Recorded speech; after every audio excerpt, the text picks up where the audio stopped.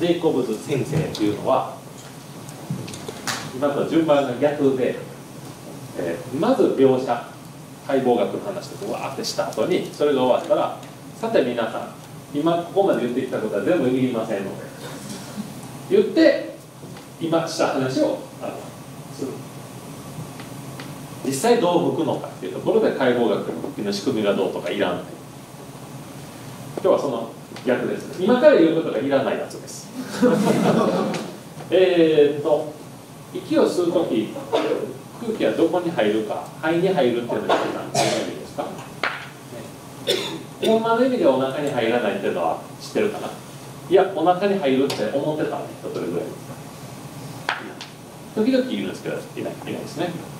じゃあ肺は大体どの辺にあるかご存知でしょうか？大体どこ？で、えーと、結構広範囲にまたがるんですけれどもここにはないよって場所がある。柔らかいところにはないです。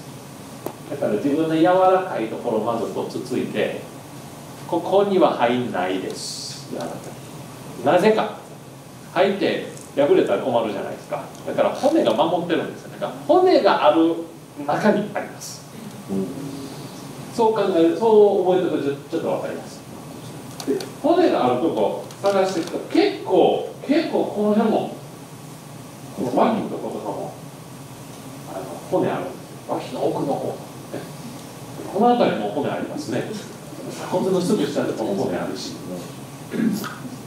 細い人だったら触れるけど鎖骨の上もちょっと骨覗いてるんですその辺りも肺があるんですね。ね。だから鎖骨のに守られてる中に肺があると、えー、息を吸うとその中に空気が入ってくる。ですね。なのでそうらしいわぐらいでいいのでどうぞ息吸ってください息吸って。で吐いてください、うん、でも面白いことに息を吸った時に膨らんだり膨らんだりする感覚があるのはここだけじゃなくてお腹も膨らんだりしますよね。もう一回それじゃあ骨骨から触って。吸うと息吸って。膨らんで持ち上がったりするの分かりやすいですよね。でお腹に手当ててください。吸って。お腹も膨らみますよね。でこれは別にあの変なわけではなくてでも肺がここにあるからってわけでもなくてもうちょっと上にある横隔膜が動いたことに伴って内臓が動いてそれに押されているグラムみたいな、えー、ものであって呼吸の動きとして確かに起きます。で、えー、腹式呼吸胸式呼吸って話は要はこっちの膨らみに着目した話が腹式呼吸。こっちの動きにあの着目した呼吸が胸式呼吸っていうこと。でもどっちもえー、肺に空気が入ってくるという、えー、動きを表したものである。で、えー、じゃあ吸ってください。吸って。じゃあ吐いてください、吐くと元の大きさに戻っていきますね。で吸うっていうのは体が、まあ、膨らむような動きであって吐くっていうのは体がしぼんでいくようなで、え息の支えという言葉聞いたことがあると思います。息の支えっていうのは、えー、皆さんまた吸ってください。息吸いますよね膨らんだ支えがを使わない場合吐くとそのままふーっとしまう。この時が一番抵抗なく楽に空気が出ていってる状態です。でもちょっと長くえー、息を吹き続けたりとかあとはオーボエとかトランペットとかみたいに歌口が小さい楽器の場合はそんなに入っていかないんです。空気がね。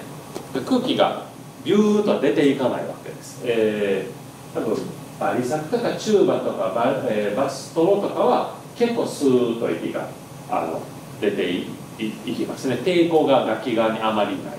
これ楽器によっても具合は違うんですけれどもえーと、完全に無抵抗で出てっている場面だけではなくてある程度出ていき方をコントロールしている場面が多いわけです。それそれそのコントロールをやってるのが息の支えなんですけれども、えー、どうなっているかっていうと描写ね。こうしようと考えなくてもできてる場合が多いんですけれども吸ったら吐くんだけどただただしぼんではいかなくてなんかちょっと膨らんだままになってるみたいな。どうぞ吐いて。そうそうそうそう。それが息の支え状態なんです。OK リラックスこれで吸うって何吐くって何支えるって何っていうのの、えー、説明をします。じゃあ、えー、腹式呼吸胸式呼吸はもう支えとも関係があって腹式呼吸はどういう様子を指しているかっていうと吸った時にお腹が主に膨らむのをまず指してます。ってで吐く時にあんまりお腹がしぼまないのを腹式呼吸は指しています。